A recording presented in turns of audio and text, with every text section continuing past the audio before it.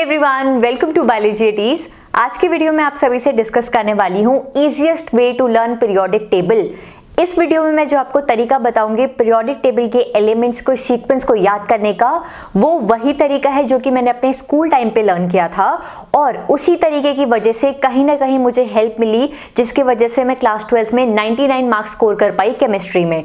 तो इस वीडियो में हम डिस्कस करेंगे सबसे ईजी और फनी तरीका, जिससे आप इजिली पीरियोडिक टेबल लर्न कर सकते हैं। सबसे पहले पीरियोडिक टेबल आपको लर्न करवाने का जो तरीका मैं आपको बताने वाली हूँ, उससे पहले कुछ चीज़ें मैं क्लियर करना चाहती हूँ। सबसे पहली चीज़, आपको हर सिंबल क्या कहता है, हर सिंबल किस एलिमेंट को रिप्रेजेंट करता है, ये लर्न करना होगा। जैसे कि A L stand for aluminium C stand for carbon N stand for nitrogen O stand for oxygen ये सब चीज़ें आपको लर्न करनी होगी। तो पहली चीज़ ये है कि आपको सिंबल, कौन सा सिंबल किस एलिमेंट के लिए यूज़ होता है, ये पता होना चाहिए। दूसरी चीज़ पीरियोडिक टेबल में जब भी आप एलिमेंट्स का सीक्वेंस लर्न करते हैं तो आपको पूरी पीरियोडिक टेबल लर्न करने की कोई ज़रूरत नहीं है? स्टार्टिंग के जो आपके 36 एलिमेंट्स होते हैं क्रिप्टन तक जो आपके एलिमेंट्स होते हैं, आपको यही सीक्वेंस ज़्यादातर एग्ज़ाम्स में पूछे जाते हैं। यही most frequently asked and most important elements होते हैं, जिनका सीक्वेंस आपको पता होना चाहिए। तो मैं आपको सीक्वेंस लर्न करवाऊँगी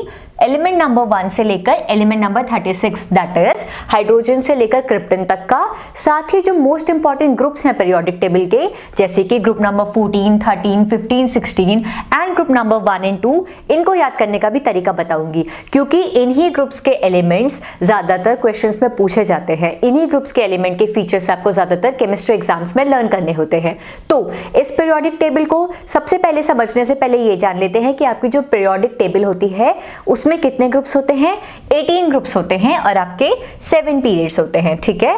अब मैं आपको एलिमेंट्स का सीक्वेंस लर्न करवाने वाली हूँ, लेकिन आपको ये फॉर्मेट आना चाहिए। जो ये बिल्डिंग बन रही है पीरियोडिक टेबल की, ये बनानी आपको आनी चाहिए, ठीक है? इसका कोई ट्रिक नहीं है। ये आपको खुद बनानी पड़ेगी। आप कुछ भी बिल्डिंग इमेजिन कर लीजिए, कोई भी स्टोरी फॉर्म करके फॉर्मेट बनाइए, लेकिन फॉर्मेट बनाना आपको आना चाहिए। मैं आपको सीक्वेंस लर्न कराऊँगी कि इस बिल्डिंग में आपको इन एलिमेंट्स को कैसे फिल करना करना है, ठीक है?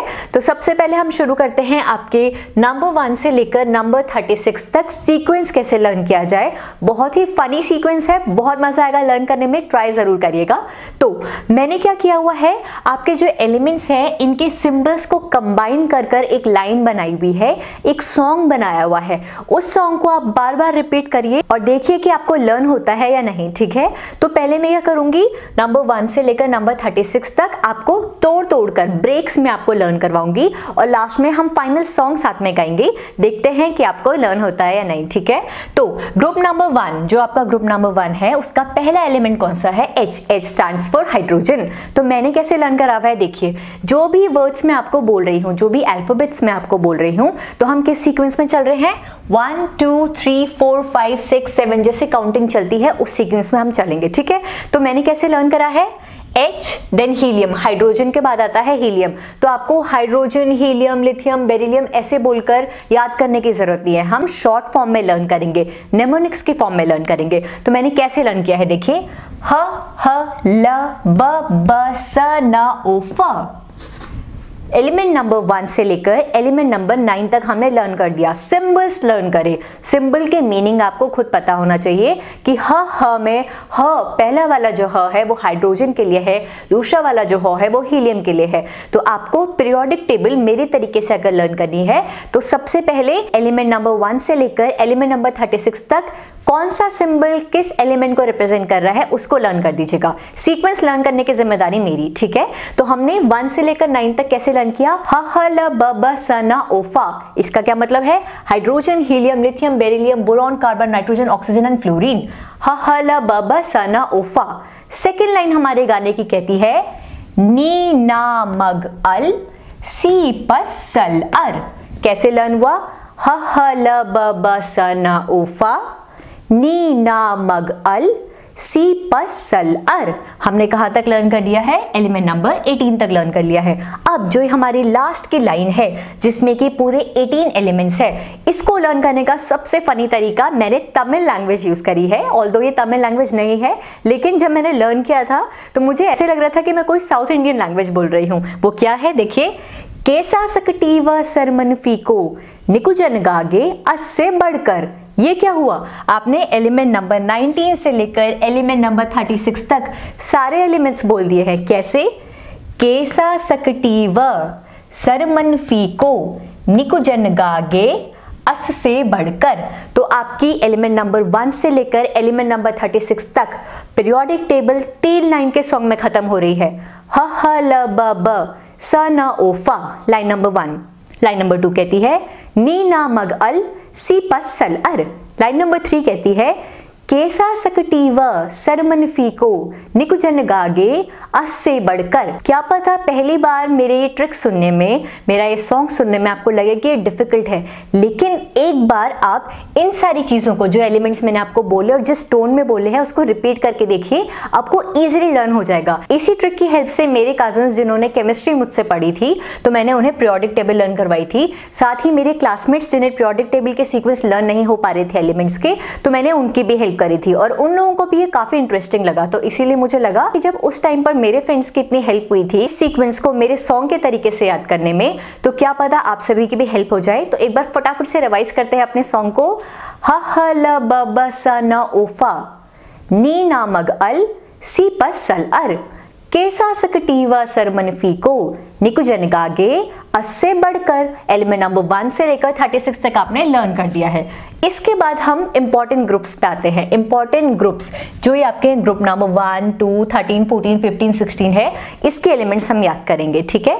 तो हम आते हैं ग्रुप नंबर वन पे। ग्रुप नंबर वन के एलिमेंट्स से आपके hydrogen lithium sodium potassium rubidium caesium and francium तो इसको कैसे लर्न करा है आपने? देखिए ह ली ना की रब से फरियाद। आपने नेमोनिक्स यूज़ करे हैं। क्या यूज़ किया है? ह। ह स्टैंड्स फॉर हाइड्रोजन ली लिथियम इसीलिए मैंने कहा है कि कौन सा सिंबल किस एलिमेंट को रिप्रेजेंट कर रहा है, ये आपको पहले लर्न करना पड़ेगा। तभी आप ट्रिक्स यूज़ करके सीक्वेंस को लर्न कर सकते हैं। तो ग्रुप नंबर वन जो आपका ग्रुप नंबर वन है, इसके एलिमेंट्स कैसे लर्न किए हमने?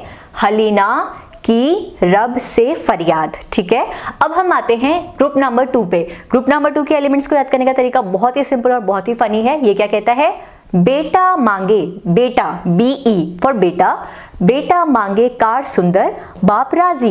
बेटे ने अपने पापा से कार मांगी और वो राज़ी हो गए कार देने के लिए। बेटा मांगे मांगे एम जी फॉर मैग्नीशियम बेटा मांगे कार सुंदर, बाप राज़ी। तो हमने क्या किया? ग्रुप वन और ग्रुप टू के एलिमेंट्स लर्न कर दिए हैं।